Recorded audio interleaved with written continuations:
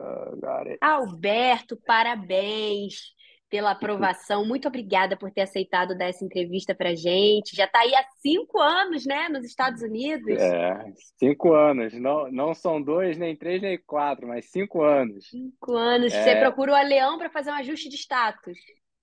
Foi, foi um ajuste de status. Eu já estava aqui há quase dois anos. Eu cheguei aqui em 2018, né? No Uhum. meio de 2018, vim com esposa e uma filha enteada, né? E quando eu cheguei aqui, estudei por mais um ano e meio, era um mestrado que tinha três, dois anos de duração. Quando fez um ano e meio, eu, eu parei e apliquei. Na verdade, eu apliquei e aí parei de estudar, porque logo depois que você faz a aplicação no processo, você pode parar de estudar, você não precisa mais Uhum. ter vínculo com nenhuma instituição de, de ensino. E aí eu, por motivos financeiros, eu optei por, por parar de, de frequentar a faculdade naquele momento. Mas assim, foi uma, foi um período complicado, porque o meu processo ele, ele foi iniciado em fevereiro de 2020. Para quem não se lembra, foi um mês antes da Um pandemia. mês antes de começar a pandemia. É, e assim, a, a pandemia aqui foi um, foi um período De muito começar o lockdown, né? É, porque ninguém sabia se as repartições públicas iam parar, e para, não para, a imigração para. Resumo da ópera, a imigração parou, eu acho que depois de uns três ou quatro meses de, de lockdown, né? O lockdown foi em março, acho que no começo de março. Foi. E, eu, e o meu processo ficou parado, né? Ficou parado e, assim, a minha... Foi, foi uma loucura, porque o meu processo sou eu, minha esposa e a minha enteada, né? Era, né? Uhum. Aí continua sendo. E aí, o que que aconteceu? Os processos foram separados, foi um foi para o Texas, o outro, o meu foi para o Texas, o delas, o delas foi para a Califórnia, e aí parou tudo na pandemia. E aí um docu a documentação da questão lá do Combo Card, que normalmente demora, sei lá, três meses para sair, o meu demorou um ano e meio para sair. Meu Então foi Deus. uma, é, foi uma loucura. Documentação não chegava, chegava documentação pela metade. Não- Sejamos sinceros, bagunça de repartição Foi um pública em pesadelo, qualquer, né? em qualquer lugar. É, não, não tem absolutamente nada a ver com o Group, porque o serviço Uhum. foi prestado direitinho, só que quando caiu na imigração, pelo, eu acho que talvez pelo momento de, de pandemia, Foi, uma é, coisa muito, pandemia. é, muito, muito bagunçada. Uhum. E assim, depois de depois de dois anos, eu recebi uma resposta é, pedindo RFE, né? E aí eu enviei a RFE, isso já era 2022, eu acho. É, Uhum. 2022, começo de, começo de 2022. E aí eu recebi a RFE e logo depois eu recebi uma negativa. Nossa, meu Caramba. mundo, meu mundo foi assim, Putz. É, a gente fica aqui, a gente fica muito, muito tenso, né? Porque a nossa vida gira muito em torno de, de documentação, né? A gente, obviamente, a gente quer estar com o status em dia aqui, né? Assim, principalmente a gente que já vai acumulando anos aqui, a gente vai querendo sempre, poxa, preciso dessa documentação, preciso para para a vida fluir com mais tranquilidade, né? Porque tudo fica muito burocrático, né? Quando Uhum. você deixa um status cair ou fica com documentação vencida, tudo para renovar uma Fica carteira de inviável, né? Fica. É, fica. É, é- no meu caso, que estava com tu, todo o status legal, tudo direitinho, só que com documentação atrasada, eu não conseguia renovar a carteira, carteira de motorista. Então, cara, foi, foi um período bem, bem chato, assim, né? Uhum. Mas veio a RFE, voltando à questão da RFE, veio a RFE e logo depois, assim, dois meses depois, veio a negativa. Uhum. Aí eu, caramba, o que que eu vou fazer? Só que aí já tinha nascido meu filho, né? Eu tenho um filho que nasceu aqui, ele nasceu em 2019.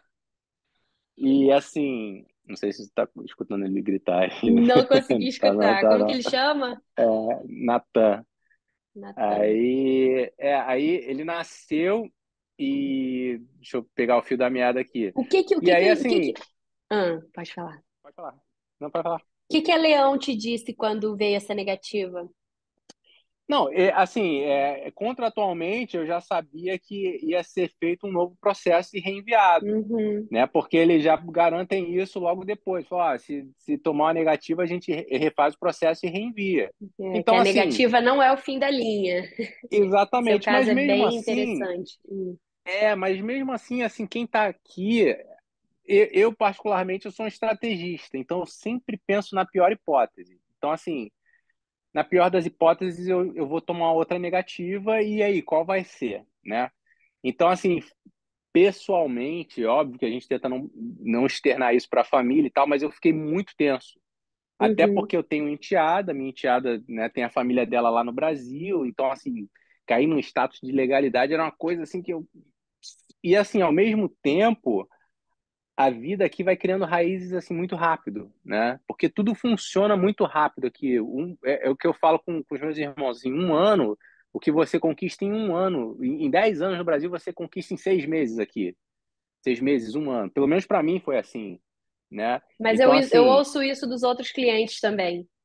é, então assim, você vai criando raiz muito rápido. Então, poxa, imagina só quem está aqui há, sei lá, quatro anos, né? Então você já está bem enraizado aqui, a família já está adaptada, trabalho, co- escola. Pô, minha filha já está na faculdade, entendeu? Então, assim, você vai, vai criando raízes muito fortes aqui, muito rápido. Uhum. Então, caramba, eu comecei a ficar meio nervoso, porque eu falei, caramba, e aí, qual vai ser? Poxa, principalmente pela Duda, porque ela tem família aí no Brasil. Caramba, será que vou, vai acontecer? Vou entrar com outro processo, é mais grana, enfim. Resumo da ópera. Eles reenviaram lá, e aí depois de um ano e eu acho que quase um ano e seis meses, cara. Depois do reenvio, né, saiu a aprovação. Eu estava conversando, inclusive eu estava até conversando no carro com meu irmão no dia. Eu estava no telefone com ele, né? Ele, pô, e aí? Tal, ele sempre pergunta, né, do meu processo, tal, até porque meu irmão é é amigo do Léo e do, e do Guto, né? São colegas de, de, de militarismo lá, de marinha lá dos anos Uhum. passados, né? E aí ele sempre me pergunta aí e tal, qual vai ser o plano B, plano C, né? Porque aqui a gente tem que ser estrategista, né? Aí eu falei, pô, cara, sinceramente eu já não sei mais o que que eu vou fazer, porque assim, eu já tenho raiz aqui pra caramba, né? Assim, o, o meu filho ele é especial. Então, assim, suporte médico aqui é uma coisa assim, pô, fora da curva, sabe? Totalmente fora da realidade, assim, se você avaliar friamente, não tem como voltar. Não tem, sabe? Se você Uhum. for avaliar friamente, assim, pelo bem da sua família, não tem como voltar. Então, assim, aquilo ali estava me dando uma angústia muito forte, porque, assim, você nunca quer deixar o seu status cair, né? Mas eu estava entre a cruz e a espada. E como foi minha, receber a notícia da aprovação eu, depois de, desse sofrimento, dessa, de toda essa angústia, dessa ansiedade, da negativa? é, eu estava conversando com meu irmão no telefone, ele aí, qual vai ser, não sei o quê. Eu falei, cara. Aí na hora pintou lá uma mensagenzinha lá. Eu tinha Rafael Advogado, é um grupo. Rafael é um grupo, eu, pô, não conhecia, não tinha tido contato com ele, né? Ele disse, Alberto, tô, é, se o senhor puder entrar em contato, eu vi a mensagenzinha, deu um pop-up aqui no celular, né? O seu processo foi aprovado. Eu li assim, eu falei, caraca, eu tava falando com meu irmão, eu falei, caraca, aí, o advogado acabou de me mandar aqui uma mensagem falando que, pô, o processo foi aprovado e tal. Deixa eu desligar aqui, vou ligar para minha esposa. Aí eu desliguei com meu irmão, né? Aí eu primeiro eu liguei pro Rafael, né? Eu falei, pô, Rafael, que parada é essa? Não brinca com esse negócio, não, cara. Isso aí é coisa séria, pô. Aí, não, cara, saiu aqui, o processo foi aprovado e tal. Eu falei, pô, tu tem certeza? Tu checou o número aí? Ele, não, tá, "Tá, beleza, deixa eu ligar pra minha esposa. Eu desliguei na cara dele, aí liguei pra minha esposa, pô, minha esposa chorou e caramba, foi uma, uma loucura, cara. Aí, pô, é, é, assim, duas toneladas tira- tiradas das costas, entendeu? Foi, foi bem. Foi bom, foi muito bom. A sensação muito boa. Sensação muito boa mesmo. Parabéns, É, valeu, parabéns. obrigado. Vocês merecem muito. Nossa, que, que história, né? Que porque tem pessoas que é, o processo ele corre tão rápido, né? E outras que demoram É, não um foi o pouco caso. mais de tempo, mas o seu teve uma pandemia, teve uma negativa, uau, e você É, não desistiu, né? A Leão foram, não desistiu, foram, você não desistiu e teve é, esse final feliz. o Chegou a quase começo, né? anos. né? É, É um começo, começo de uma começo. história.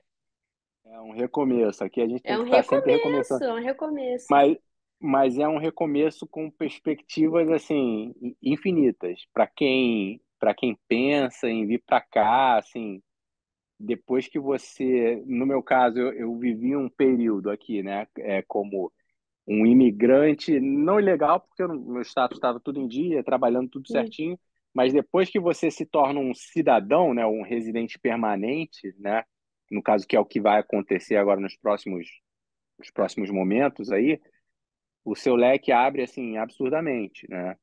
É, Uhum, inclusive questão de, de validação de diploma, é, bolsas de estudo, incentivos do governo, assim, vem, vem tudo na tua direção, entendeu? uhum, Então, assim, é, é o, o, o Estado te, te estimula muito a crescer, né? Nesse sentido, assim, no sentido do estudo, principalmente estudo em nível superior, né? Existem milhões e milhões de bolsas de estudo, né? Porque uhum, aqui é, as empresas elas podem reverter é, o taxation, né? A, a, os impostos em instituições filantrópicas que de fato exercem a filantropia, no caso filantropia de bolsa de estudo. Existem centenas e centenas de empresas que pegam o taxation e transformam em bolsas de estudo. Então, assim, o que não falta aqui na América é bolsa de estudo. Então, para quem tem filhos, que tem essa, essa vontade de vir para cá, mas acha que, pô, cara, chegou aqui,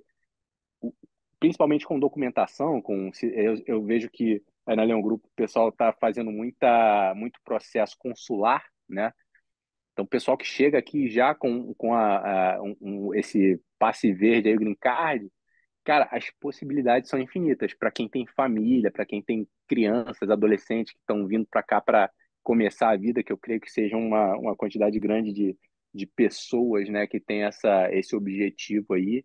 É, cara, eu, eu fico muito, muito feliz pela minha, pela minha enteada, que, tipo assim, cara, as possibilidades dela, ela já está na faculdade, está fazendo enfermagem, né, já está indo para o segundo semestre agora, Uau, cara, legal. ela, ela, ela as, as portas estão abertas, o mundo é dela, entendeu? Cara, é muita, muita possibilidade, entendeu? É, é, é um mundo realmente diferente. Engraçado, você é tão jovem, achei que era, era uma criança, sua enteada. Não, ela, ela tá com 18, tá com 18. É uma Ah, criança. É uma uhum, é uma criança de criança, né? cabeça, mas, Uau, ela tá com 18 legal. anos já. É. É, você me disse que já morou dos 10 aos 12 anos nos Estados Unidos por conta do seu pai, que era militar, né? E teve que, você teve que morar um tempo aí com ele. Mas o que É, fez você, cinco anos atrás, decidir retor- retornar depois de tanto tempo? é, eu acho que as memórias de infância nunca saem da nossa cabeça, né? E assim, eu tinha, eu sempre tive memórias muito boas daqui, né? Como, como família. Veio a família inteira, né? Meus dois irmãos também que são mais velhos. É, Eu sou mais novo, são dois mais velhos, mas é escadinha, né? Então, assim, a gente tem muita, a gente, eu pelo menos tinha muita lembrança bacana daqui, né? De tudo que a gente Flórida também? Não, a gente morou em Washington, né? Em DC, lá na Uhum, capital, uhum. né? Era um, Tá, era um cargo, era um cargo militar, enfim, e normalmente tá. esses cargos são, é, são na capital, né? Uhum, E assim, eu tinha muitas memórias boas e eu, eu, eu acho que eu queria é, proporcionar isso para Duda e para o Natan que estava por vir, né? Eu não sabia, mas o Papai do Céu sabia, né? Então, uhum. Vocês assim, pensavam eu em ter outro filho? é, sim, sim, com certeza. E assim, e, e Papai do Céu abençoou, porque eu acho que foi, no fundo, no fundo, foi a coisa que eu sempre persegui, assim, estar aqui, né? Viver aqui, porque eu acho que foi um momento muito feliz na minha infância, né? Que talvez tenha me levado a, a vir para cá, né? A, a história é, é maior, eu, eu não sei quanto tempo você tem aí, mas assim, a história é um pouquinho mais complexa, porque eu ia aplicar para o Canadá e não deu certo, só que eu já estava com toda a documentação na mão, e aí minha esposa falou, cara, vamos, vamos aplicar para os Estados Unidos, é, para o visto de estudante, né? Uhum, E aí a gente foi, aplicou e graças a Deus deu certo. Hoje em dia, graças a Deus, foi para cá, porque assim, Canadá é frio pra caramba, né? E pô, Rio de Janeiro, praia e tal. Lá não ia ter isso, né? É É verdade, ia claro ser que mais difícil se habituar é claro que é, a gente se adapta, né? Eu sou eu, eu eu acho que eu e minha esposa a gente com certeza se adaptaria sem problema nenhum. Até porque a gente gosta de um friozinho e tal, mas assim a realidade é que a Flórida é, é mais parece mais com casa, né? Mais com Rio de Uhum. Janeiro, né? Com com Brasil, né? Então assim E você foi para é fazer mestrado aí. é vim, vim para fazer um mestrado, um Uhum. mestrado. Foram, eu, eu agora? apliquei lá pro, pro Canadá, aí, na verdade, o que, eu tomei uma negativa do visto de estudante no Canadá, o que é muito mais difícil, né, de acontecer, porque no Canadá as portas são muito mais abertas, né, para para imigração de estudante, né, é, imigração, assim, para vistos de estudante é muito mais fácil. Só que na hora de fazer a documentação que eu fiz, eu fiz errado. Questão de valores, de tempo de estadia, enfim. E aí, quando bateu no consulado lá, ele falou: Ó, você não tem fundo suficiente. Só que eu, eu, eu que apliquei errado. Tipo assim, eu, eu calculei um valor para um semestre, só que eles queriam o valor do curso inteiro, que era um curso de dois anos. Então, botei o fundo insuficiente. Aí o cara me deu a Ah, negativa. entendi. né? E o É, se você detalhe, coloca isso, realmente. é, e o detalhe foi o seguinte: fiz a aplicação para o visto de estudante para os Estados Unidos, eles me aprovaram. Aí, beleza. Me aprovaram, mandaram para casa, Aí você preencheu o valor certo, né? Não, eu nem preenchi, eu contratei um cara para preencher. Uhum. E quando eu fiz a aplicação, eles deram ok, beleza. Mandei o passaporte para eles e eles mandam de volta, né? Tipo, dois, três dias depois você pode acompanhar pelo sistema, né? Que o teu passaporte. Só que ficou parado no sistema. Um dia, dois dias, eu falei, pô, que troço é esse? Aí eu entrei em contato. Aí eles mandaram uma mensagem assim, por, por e-mail. É, favor voltar ao consulado dia tal e hora tal. Tipo, no dia seguinte. Aí eu, putz, caraca. Para entrar no consulado é extremamente burocrático, né? Você, não sei se, enfim, você não consegue entrar no lá. consulado. É, você não consegue entrar só se você tiver appointment, se você tiver marcação, aí tem que mostrar. É, é bem burocrático só para entrar no consulado dos Estados Unidos. Uhum. Aí eu fiquei batendo na janela lá e tal. Aí o cara ficou assim, tipo, o que que tu quer? Eu falei, cara, eu não sei o que que eu tô fazendo aqui, mas mandaram eu voltar. Aí o cara, só um minutinho, me dá teu nome, o Alberto. Cara, o cara passou o meu passaporte da minha esposa por debaixo da porta. Ele devolveu o meu passaporte e falou: Ó, entra na fila de novo. Aí eu, pô, caraca, debaixo da porta, literalmente. Ele Que passou meu isso, passaporte, gente? aí, pô, e tava sem visto, meu passaporte. Eu, caraca, eu falei, Evânia, vamos ter que voltar. Tomamos nega, vamos, vamos ter que fazer a entrevista de novo, né? Aí o cara, nossa, aí eu comecei a tremer. Falei, caraca, comecei a tremer, tremer. Falei, putz. Aí eu entrei, aí eu consegui entrar no, no, no consulado, né? Eles abriram lá a porta e tal. Aí falou, ó, entra na fila aí de novo. Entra na fila de entrevista. Eu falei, pô, mas eu já fiz a entrevista e tal. Tô com o passaporte na mão, vou ter que fazer de novo, né? Aí eu, caraca, já tremendo já. Aí quando chegou na minha vez na entrevista, a mulher falou assim: Eu tô vendo aqui no sistema que você fez uma aplicação para visto de estudo no Canadá. Aí eu olhei assim, eu fiz. Ela, e por que que foi negado? Aí eu expliquei para ela que eu, eu apliquei errado porque não tinha fundo suficiente. Ela olhou para minha cara e falou assim: Ok. Aí carimbou e, e aí pediu de volta o, passaporte. Tipo assim, ela já tinha informação. Ela só queria saber se eu ia falar a verdade. Mas aí você foi, teve o visto aprovado. Aí sim, aí ela, tá bom, me dá aqui, o seu visto foi aprovado. Aí eu devolvi o passaporte, aí sim, aí dois dias depois, três dias depois, chegou o passaporte na minha casa. Então eu Que fiz duas susto, hein? entrevistas. Nossa, Que mas aí eu vim pra cá e aí o resto é história, né? E o resto é história. E me conta É. como é que foi a sua história com a Leão Group. Como que Cara, foi? foi, foi bacana, assim, o, na verdade o Léo é muito amigo do meu irmão, o Léo e o Guto, né?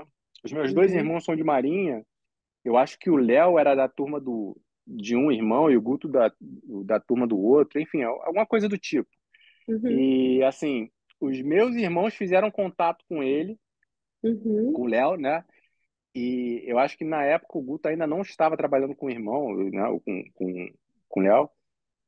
E assim, ele começou a fazer o processo, assim, como paguei tudo direitinho, como, mas como assim, foi, foi um processo muito, eu creio que tenha sido muito pessoal para ele, porque como Aham, tinha esse envolvimento de amizade entre o, o, o meu irmão e eles, né? uhum, Eu acho que ele deve ter levado muito pro lado pessoal, de tipo assim, tem que acontecer, tem que acontecer, tem que acontecer, né?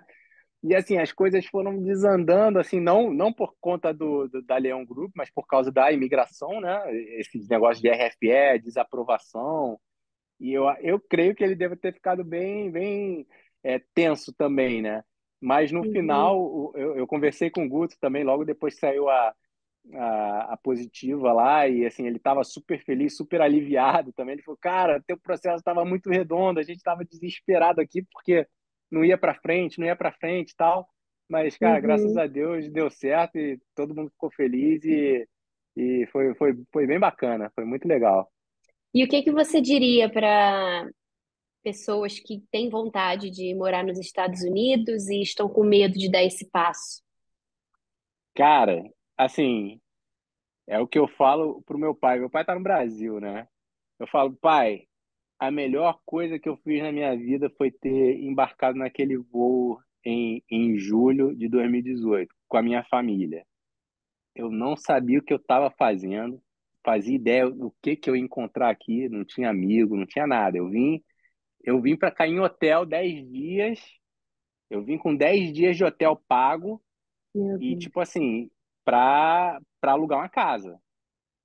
Sabia, não, não conhecia o bairro, não sabia de nada. Então, assim, graças a Deus tudo deu certo, as coisas acontecem aqui, né?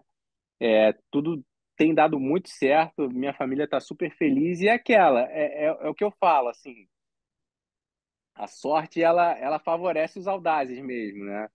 O cara para não é porque não estou me vangloriando nem nada não, é, mas o a imigração, o cara que migra, ele é é forte, entendeu? Porque não é fácil, é uma outra cultura. Eu, particularmente, eu sei falar inglês, sabia desde criança, mas tem gente que chega aqui com, com 100 dólares no bolso, entendeu?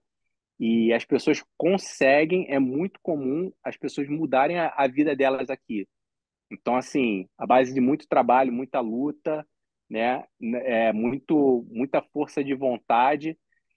Não é fácil, mais uma vez, é, mas, cara, se a pessoa, se você for uma pessoa trabalhadora, que tem a força de vontade, cara, as, as portas vão se abrir aqui, entendeu? É um Uhum, país que, que favorece muito é, aquele que trabalha, né? É, uhum, é, é um país feito é, para o imigrante que trabalha. É, é um país forjado à base da imigração, né? Então, assim, uhum, é, não tenha medo. Quer dizer, medo tu vai ter, não vai ter jeito, né? Mas uhum, encara de frente que as coisas acontecem. A, a sorte, de fato, favorece os audazes, entendeu? uhum. Vai, vai acontecer, dessa. vai, vai, vai, vai ser perrengue, mas, cara, as coisas vão acontecer e, e você vai ser muito feliz aqui nessa terra, porque é uma, é uma terra que, de fato, em se plantando, tudo dá, entendeu? Aqui, de Uhum. fato, você planta e você colhe. Aqui é, é uma terra muito abençoada por Deus. Parabéns pela história, Alberto. Parabéns, muito sucesso para você e sua família aí. Curtam esse show. momento, essa nova etapa Valeu. que começa para vocês. Aproveitem, estamos muito felizes por fazer parte dessa história. Me contem sempre com a Leão Group. Gostaria de dizer mais Valeu. alguma coisa para encerrar? Queria, queria assim, pô, mandar um abraço pro Léo e pro Guto aí que me aturaram pra caramba. Falar pra eles que o trabalho que eles fazem, é, eu acho que é o, o sonho de todo imigrante que vem pra cá e consegue as coisas devagarzinho e fica olhando pro Brasil, a gente fica com um aperto no peito porque a vontade que tem é de, cara, trazer todo mundo pra cá, sabe? E o trabalho deles é muito bacana porque eles conseguem. É óbvio, né? É, é um trabalho monetarizado, né? Tem que ser, como todo trabalho tem que ser monetarizado. Mas, cara, o que eles fazem por, por essas pessoas, cara, é uma coisa assim, é, é transformador mesmo. E, pô, brigadão, Léo, brigadão, Guto. Vocês estão no meu coração, no coração de toda a minha família aqui. Ai, fico muito feliz em ouvir isso. Eu agradeço em nome de toda a equipe da Leão. E mais uma vez, parabéns pela aprovação e muito, muito sucesso para você e sua família Valeu. aí nos Estados Unidos, viu? Beleza. Obrigadão aí pela atenção. Um beijo grande. Um abraço, boa sorte para vocês aí, galera da Leão. Obrigada. Tchau, tchau.